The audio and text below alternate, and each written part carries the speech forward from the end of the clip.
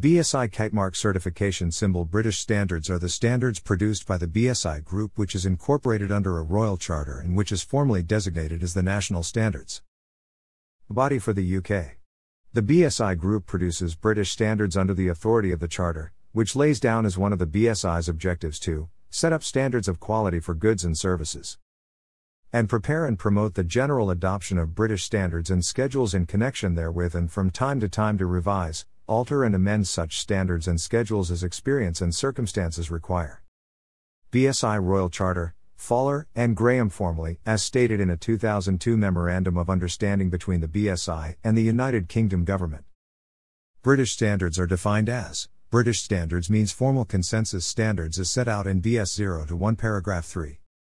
2 and based upon the principles of standardization recognized inter alia in European standardization policy. Memorandum of Understanding between the United Kingdom Government and the British Standards Institution in respect of its activities as the United Kingdom's national standards body, United Kingdom Department for Business, Innovation, and Skills products and services which BSI certifies as having met the requirements of specific standards within designated schemes are awarded the kite mark. BSI Group began in 1901 as the Engineering Standards Committee, led by James Mansergh, to standardize the number and type of steel sections, in order to make British manufacturers more efficient and competitive. Over time, the standards developed to cover many aspects of tangible engineering, and then engineering methodologies, including quality systems, safety, and security. The BSI Group as a whole does not produce British standards, as standards work within the BSI is decentralized. The governing board of BSI establishes a standards board. The standards board does little apart from setting up sector boards. Each sector board, in turn, constitutes several technical committees.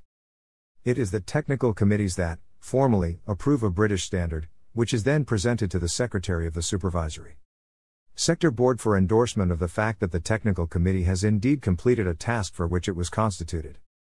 The standards produced are titled British Standard 4XP, YAI, where 4x is the number of the standard, P is the number of the part of the standard, and YAI is the year in which the standard came into effect. BSI Group currently has over 27,000 active standards. Products are commonly specified as meeting a particular British standard, and in general, this can be done without any certification or independent testing. The standard simply provides a shorthand way of claiming that certain specifications are met, while encouraging manufacturers to adhere to a common method for such a specification. The kite mark can be used to indicate certification by BSI, but only where a kite mark scheme has been set up around a particular standard. It is mainly applicable to safety and quality management standards. There is a common misunderstanding that kite marks are necessary to prove compliance with any BS standard, but in general, it is neither desirable nor possible that every standard be policed in this way. Following the move on harmonization of the standard in Europe, some British standards are gradually being superseded or replaced by the relevant European standards. Standards are continuously reviewed and developed and are periodically allocated one or more of the following status keywords. BSI Group headquarters in Chiswick, London. BSI also publishes a series of publicly available specification documents. PAS documents are a flexible and rapid standards development model open to all organizations. A PAS is a sponsored piece of work allowing organizations flexibility in the rapid creation of a standard while also allowing for a greater degree of control over the document's development. A typical development time frame for a PAS is around 6 to 9 months. Once published by BSI, a PAS has all the functionality of a British standard for the purposes of creating schemes such as management systems and product benchmarks as well as codes of practice. A PAS is a living document, and after two years, the document will be reviewed and a decision made with the client as to whether or not this should be taken forward to become a formal standard. The term PAS was originally an abbreviation for Product Approval Specification, a name which was subsequently changed to Publicly Available Specification. However, according to BSI, not all PAS documents are structured as specifications, and the term is now sufficiently well established not to require any further amplification. Copies of British standards are sold at the BSI online shop or can be accessed via subscription to British Standards Online. They can also be ordered via the publishing units of many other national standards bodies and from several specialized suppliers of technical specifications. British standards, including European and international adoptions, are available in many university and public libraries that subscribe to the BSOL platform.